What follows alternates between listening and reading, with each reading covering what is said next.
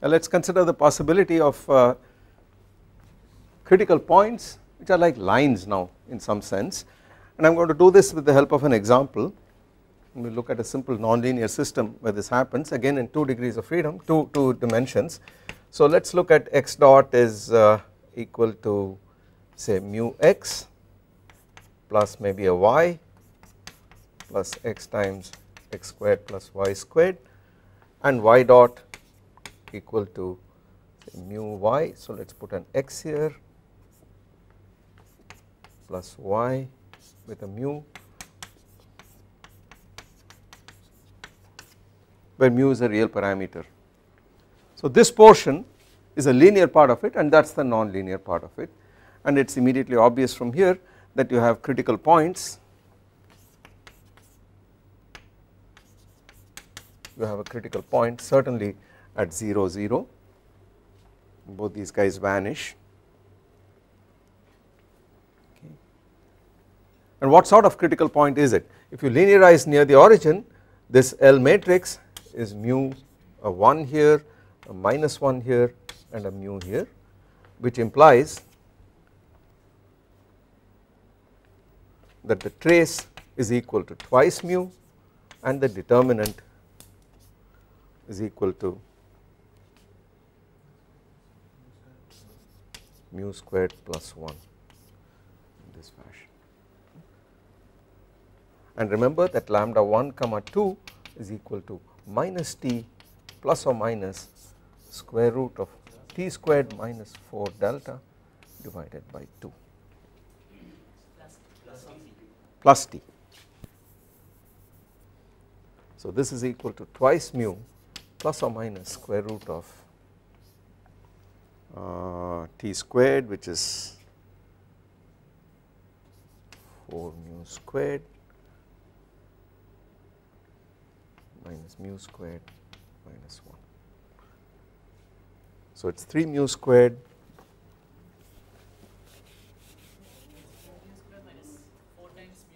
ah 4 mu squared minus 4 delta so that is 4 mu squared minus 4 divided by 2 so this cancels out here and this just gives you 2i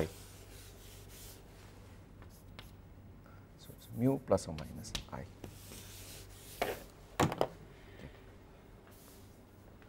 So what kind of critical point is this? Depends on the sign of mu. But since it is complex conjugate as a pair of com complex conjugate critical points its uh, eigenvalues it is clear that the critical point is a spiral point. So this immediately says that it is an asymptotically stable spiral for mu less than 0 and an unstable spiral for mu greater than 0 at the origin and the phase picture as you can imagine is a spiral going inwards into the origin for mu less than 0 and away from the origin outwards for mu greater than 0. We should like to know what the direction of the flow is as well for that let us go to polar coordinates plane polar coordinates. So I said in the usual way x is equal to r cos theta y equal to r sin theta which immediately implies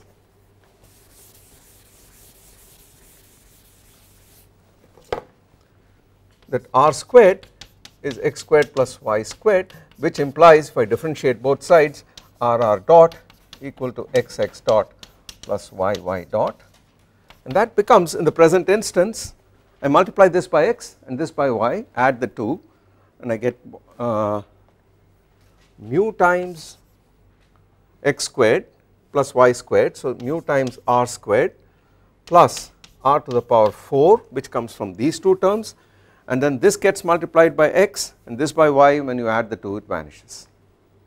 Okay. So this gives me r squared into mu plus r squared in this fashion which implies that r dot is r times mu plus r squared.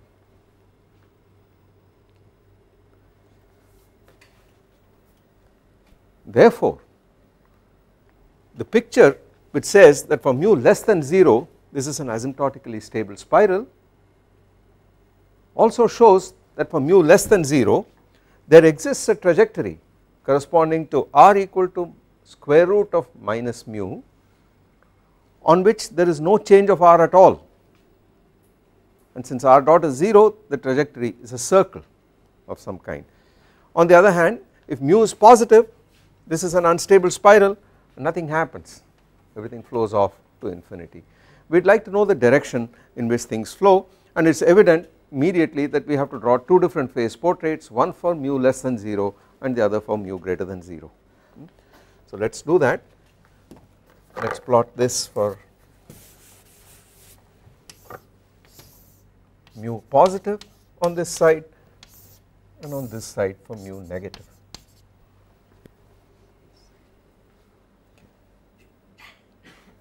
What kind of behavior do you have? For mu negative, for mu positive, this is an unstable fixed point, critical point there. On the other hand, it is stable so mu less than 0. But it is also clear for mu less than 0 r dot equal to r times r squared minus modulus mu which is equal to 0 for r equal to square root of modulus mu. Therefore, for mu less than 0 there exists a circle of this kind on which you do not change r at all. Therefore this is a trajectory by itself. On the other hand you have a asymptotically stable spiral here. And outside here it is evident from this picture that if r is greater than square root of mod mu r dot is positive. And therefore the flow is outwards off to infinity. On the other hand if r is less than square root of mod mu the flow is inwards r decreases towards the origin towards the stable fixed point at the origin. The picture is very different for mu positive there when mu is positive this can never vanish so you do not have such a root at all such a solution at all and it is clear that r always increases. The only question is in what direction do things happen and to find that we need to find out what theta does. So let me write that down retaining this equation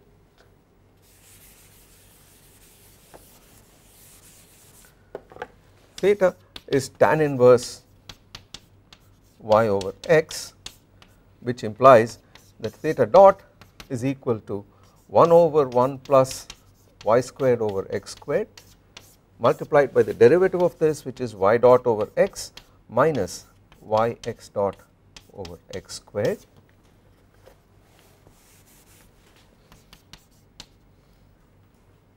and that simplifies to x y dot minus y x dot divided by x squared plus y squared. If I go back to these equations of motion I multiply this by x and this by y and subtract if I multiply this by x I get minus x squared so let us write this down. So in the present problem theta dot is equal to minus x squared minus uh, plus mu xy plus xy times x squared plus y squared minus this is got to be multiplied by y and subtracted. So minus mu xy minus y squared minus xy times x squared plus y squared. That is the numerator and the whole thing is divided by x squared plus y squared. And it is immediately clear that these terms cancel out and you end up with is equal to minus 1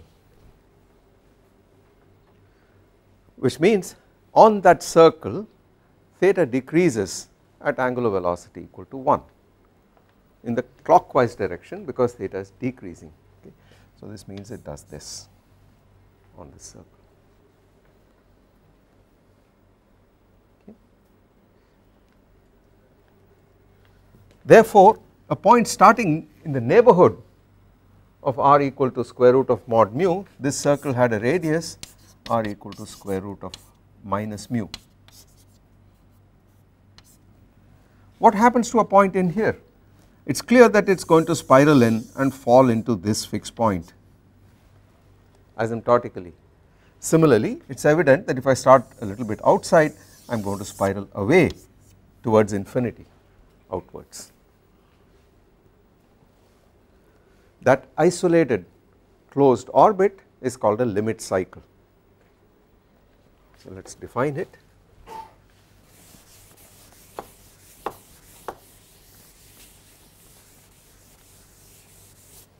This limit cycle an isolated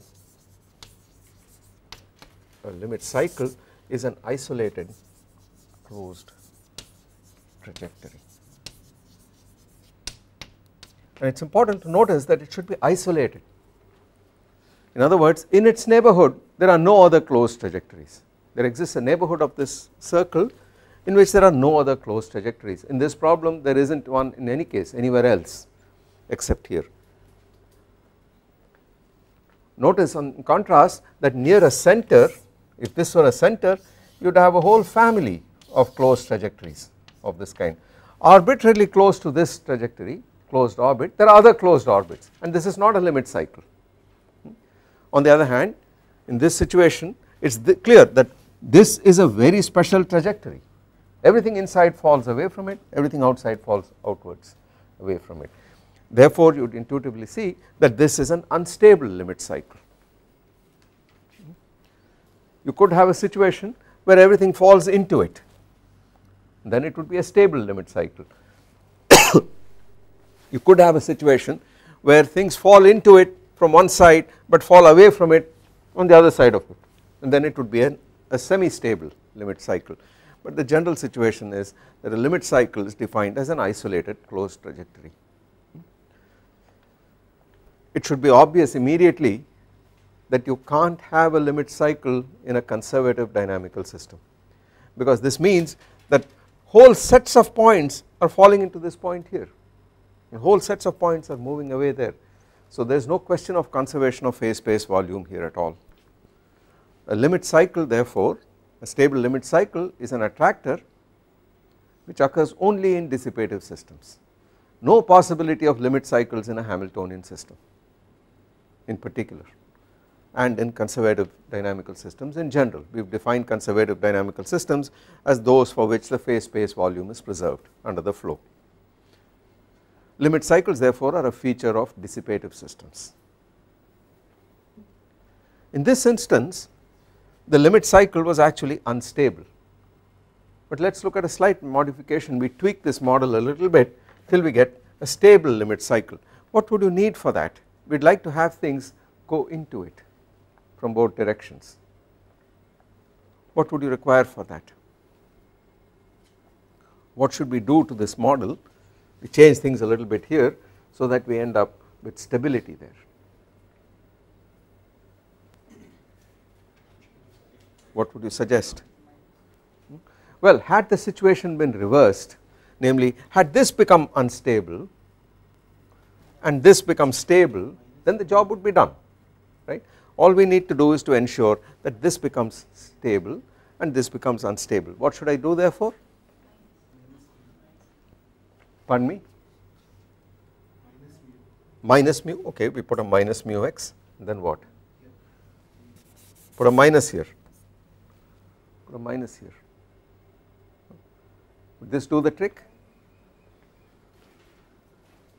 Well, let us try, let us try. Let's try. What do you think happens? Well, the linearized matrix near the origin is now minus mu a 1 here, a minus 1 here and a minus mu here and the trace is equal to minus 2 mu. The determinant is still mu squared plus 1. So lambda 1 comma 2 is equal to minus 2 mu plus or minus square root of 4 mu squared minus 4 mu squared minus 4. So this becomes a 2i. So it is just minus mu plus or minus i.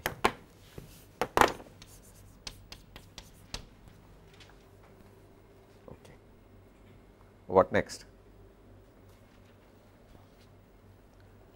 and what happens to the equation for RR dot? What happens here for RR dot? Pardon me?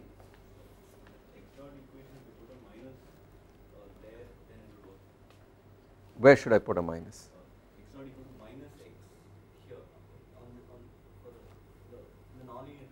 In the nonlinear term. I should put a minus sign here. This is not going to work.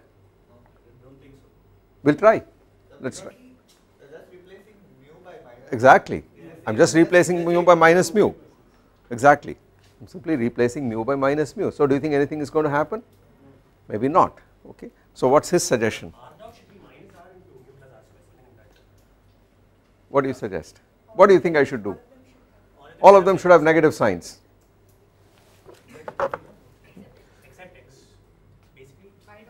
This should remain as it is. The nonlinear term should have a negative sign. Okay, we put a negative sign here and we put a minus sign there.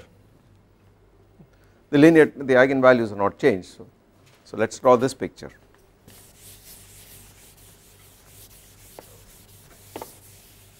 All possibilities can occur. So let us draw what, see what happens now. It is evident here that these are the eigenvalues the way I have written it here because this is not affected does not affect the linear terms. And it says that when mu is positive you end up with a spiral which is stable.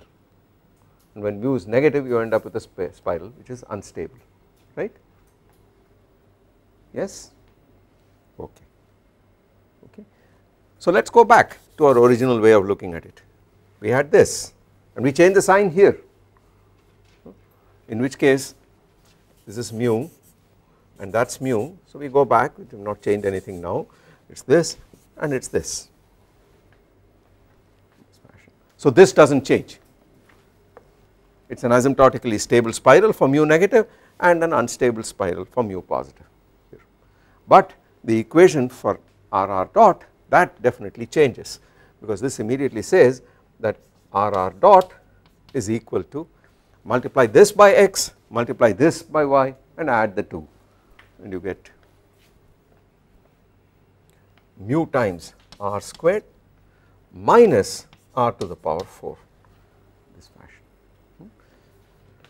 Which implies that r dot is equal to I take out an r squared and kill one of the r's so you get r times mu minus r squared. This fashion. So once again we see there is a limit cycle at r is equal to square root of mu but this time for positive values of mu. So what does the picture look like? This for negative values of mu and this for positive values of mu. And now I have x as well as y. So I really need to write down a proper bifurcation diagram but let us first draw what happens in the phase plane. Here is x, here is y, here is x and here is y. And this corresponds to mu positive, this corresponds to mu negative. And for negative values of mu there is no root here. R dot does not vanish anywhere other than r equal to 0 and this is an asymptotically stable spiral. And we should also check what theta dot does. So let us do that. Theta dot is equal to xy dot minus yx dot divided by x squared plus y squared and I think it is not going to change. So I multiply this by x I get minus x squared plus xy and I multiply this by y I get a mu xy and I put a minus sign so it is minus r squared minus 1. The nonlinear terms cancel out in any case. So once again when r mu is positive there exists a circle of radius square root of r equal to square root of mu this time on which the flow is in the counterclockwise direction and inside you have an unstable spiral point. So it is evident that wherever you start other than r equal to 0 you are going to flow into this limit cycle. if you start with a value of r bigger than square root of mu r dot is negative and therefore r shrinks inwards and therefore if you start here you are going to flow in into this point from outside. On the other hand when mu is negative you just have an unstable spiral. So this point is unstable. Here sorry. You have uh, mu negative you have an asymptotically stable spiral and therefore wherever you start you are going to flow in this direction into the asymptotically stable spiral point. It is quite clear that what has happened is that if you start from negative values of mu and move towards positive values what started off as a asymptotically stable critical point has bifurcated it has become unstable but it has also given birth to a stable limit cycle something which is asymptotically stable and so the bifurcation diagram in this case looks like this. I need to plot x and y equilibrium values. So let us do that here and let us put this to be the mu axis. And this is x and this is y. I mean the steady state values the values on which things do not change at all. Then the only equilibrium point for mu less than 0 is an asymptotically stable spiral point at x equal to 0 y equal to 0 so it is on this axis.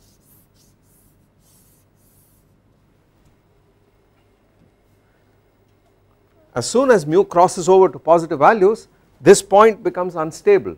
Therefore in keeping with our usual notation we should really draw this with a dotted line like this.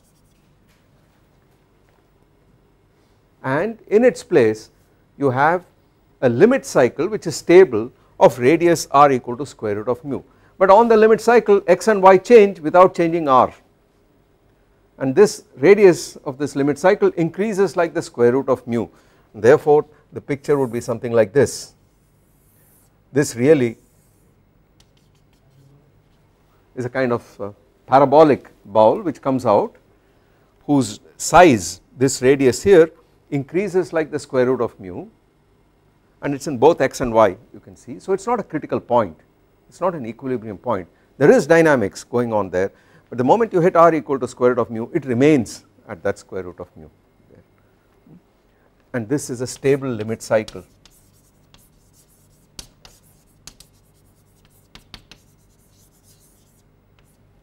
This is an unstable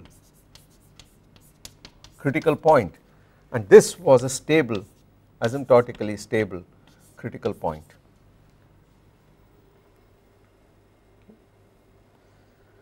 And the bifurcation which happens at mu equal to 0 of a stable critical point into an unstable critical point and a stable limit cycle is called a Hopf bifurcation.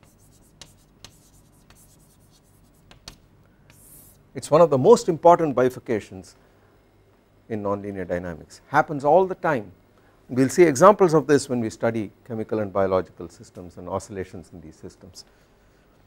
This is a standard mechanism by which periodic behavior suddenly emerges from nowhere as you change a bifurcation parameter.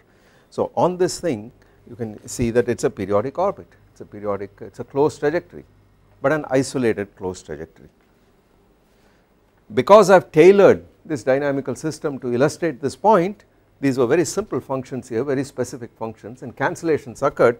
Therefore the limit cycle had the shape of a circle. That is not necessarily true. It could have a very complicated shape. It could change. There could be families of limit cycles.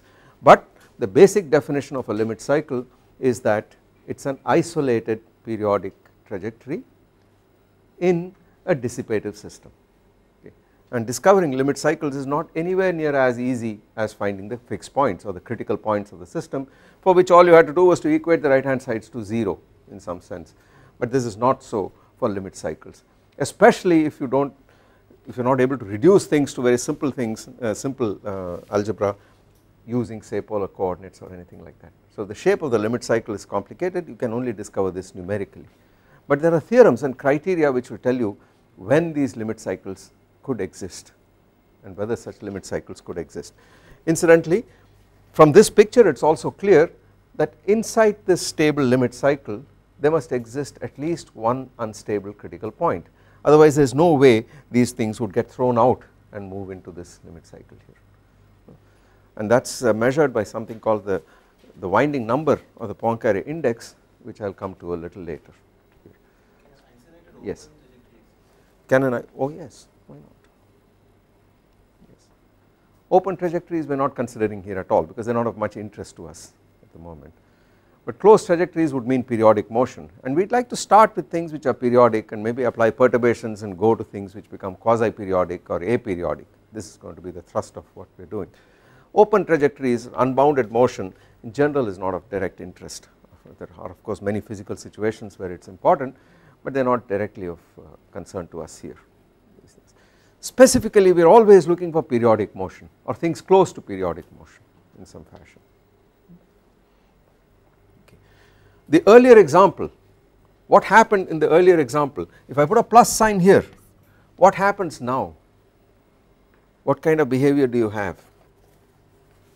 Once again, since we have chosen this mu to be exactly as it is, this is certainly true. You have an asymptotically stable spiral for mu less than 0 and an unstable spiral for mu greater than 0. But because we change the sign of the nonlinear term, this becomes a plus here, it becomes a plus here in this case. And then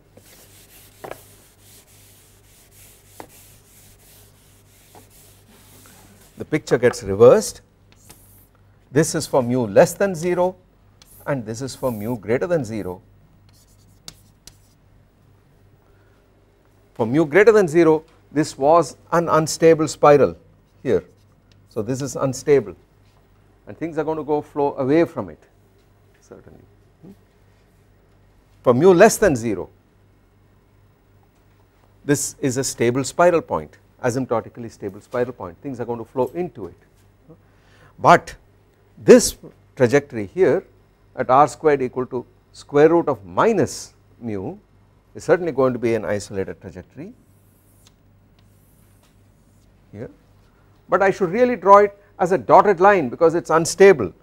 It is evident that here things are flowing away in this fashion.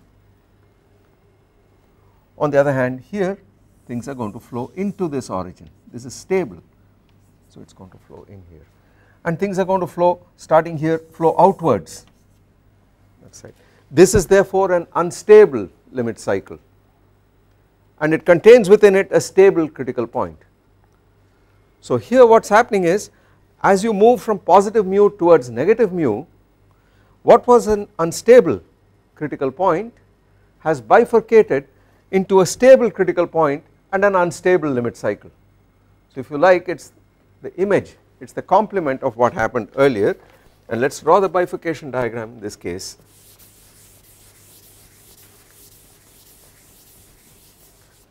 And you have a picture where as a function of mu so here is x here is y and here is mu. For mu greater than 0 you had an unstable critical point. Therefore it was like this. In this case. And it becomes stable for mu less than 0. So this is unstable. And this is a stable critical point asymptotically stable critical However you have now a limit cycle that is unstable and therefore I should really draw it with a dotted line like this and these are the trajectories on it and this is an unstable limit cycle. Compare this with the earlier case where you had it does not matter which way this parabola looks the way we have written and drawn it this is moved to the right here but it is not necessary this was stable and inside it you had an unstable critical point and this was a stable critical point. So a stable critical point came along bifurcated into an unstable critical point and a stable limit cycle and this was a stable critical point and this was an unstable and this is what we call a Hopf bifurcation. This too is a Hopf bifurcation, this is called a subcritical.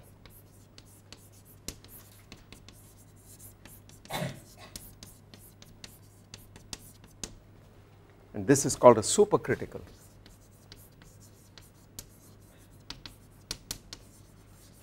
Hopf bifurcation.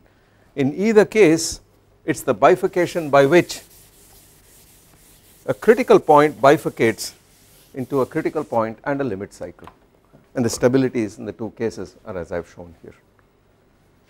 The fact that this parabola looks to the right and that looks to the left is an artifact of the way we have drawn this, the way we have chosen coefficients but the essential point is that a stable one, a stable critical point bifurcates to a stable limit cycle here and loses its stability. In a subcritical bifurcation on the other hand an unstable critical point gains stability but also gives rise to an unstable limit cycle in the process. Both these processes happen very often in nature. Hmm? But as I repeated said earlier they happen only in dissipative systems. You have limit cycles only in dissipative systems. Hmm? Here is a simple example of a system with limit cycles. So let us consider r dot equal to sine pi r and let us say theta dot is equal to 1 in polar coordinates. So I have already gone to polar coordinates and done this. What would you say is the behavior of this system? What does it do?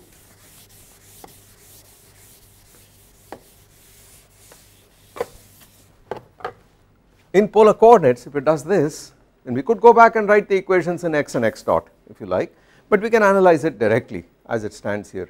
What would you say is the behavior of the system on the right hand side? When does the right hand side vanish in the first equation? So it is evident that limit cycles at r is equal to 1, 2, 3 and so on. We do not yet know what is happening at r equal to 0 which is the origin and you have presumably a critical point at that place. Hmm? We do not know the nature of this critical point. What kind of limit cycles do you have at various places? Would it be stable or unstable or what? How would you decide this? Yes, you are quite right, they would alternate in stability. One would be stable, the next would be unstable and so on. What would be the one at r equal to 1 for instance?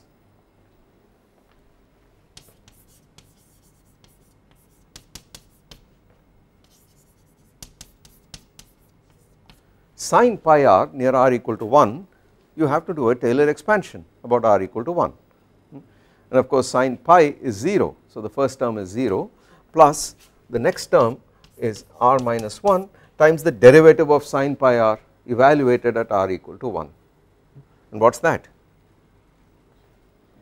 It is pi cos pi r right? So there is a pi cos pi r at r equal to 1 so that is a cos pi. And this is equal to 1 minus r in the vicinity of r equal to 1 plus higher order terms. So it is really telling you that r dot is of the order is of the form 1 minus r. Is this therefore a stable or an unstable limit cycle at r equal to 1?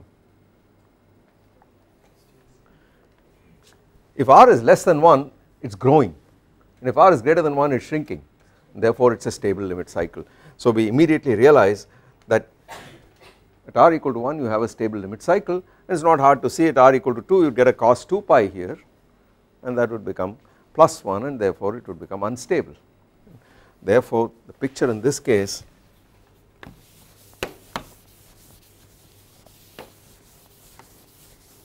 would look like this. At r equal to 1 you have a stable limit cycle. At r equal to 2 you have an unstable limit cycle at r equal to 3 you have a stable limit cycle once again.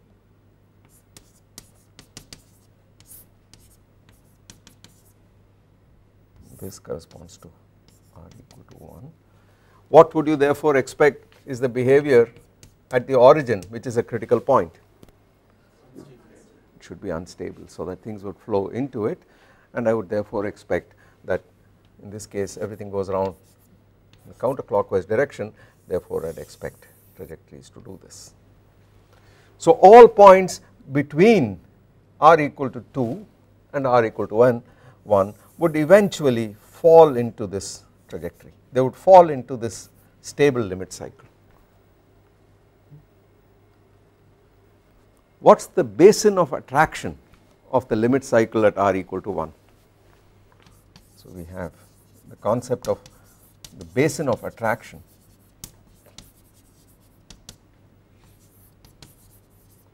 of the stable limit cycle r equal to 1 is all points which lie inside they are going to move outwards except the origin which is a critical point by itself. Hmm? So you really have an unstable critical point there. So this is 0 less than r less than 1 and what happens to points between 2 and this they too fall in. So in fact less than 2 points on r equal to 1 are already there at this point. And similarly for the basin of attraction for this is everything between 2 and less than 4 would fall into this and so on. So this is the second kind of attractor other than a critical point point attractors we now have closed orbits as attractors. And you can easily see that one could generalize this and have in higher dimensions you could have a torus attractor. You could have an n dimensional torus as an attractor. But the interesting thing and we will see this a little later is that for high dimensions dimensions greater than 2 you have another kind of attractor possible called a strange attractor and those could be very complicated fractal objects and they would be the ones of central interest to us as we go along in real nonlinear systems. So I stop here today and then uh, we take it up from this point we have seen some of the elementary bifurcations here and we will see what other possibilities can exist for dynamical systems of this kind. No they needn't uh, the question is can limit cycles do limit cycles have to be circles the answer is no of course not. It happened to be they happen to be circles in the examples I showed because I have contrived it in that fashion. I have written this already in polar coordinates in a simple way. And in the earlier example I had very simple functions of r squared. There is no reason why this should be so at all. The very first example of a limit cycle which occurred was in triode oscillations. And it is called the van der Pol oscillator.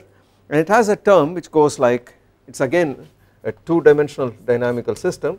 There is an x double dot term which would be the inertia term plus a term which is proportional to x so some natural frequency squared times x plus a damping term and if it is a simple harmonic damped simple harmonic oscillator linear oscillator this would be a constant times x dot. But you have here a term which looks like 1 minus x squared times x dot times some coefficient and this equal to 0 is a nonlinear equation because of the presence of this term x squared x dot and you can see that this damping for x squared less than 1 acts like normal damping but x squared greater than 1 it feeds back into the system or if you like you put a minus sign here this would reverse the situation and say for sufficiently small x things would tend to grow outwards and for larger x they would tend to come back this direction. Hmm. So the damping acts in a state dependent manner it is dependent on x. So either you have positive feedback or you have negative feedback depending on what x itself is and the limit cycles of this system were the first limit cycles to be discovered and this is the van der Pol oscillator. I am not too sure about the signs here but this is essentially what it is. You could change this constant it does not matter but this is the way this system behaves and as I said earlier this uh, occurred for the first time in the consideration of triode oscillations in a triode in the old vacuum tube. So we will see further examples of limit cycles.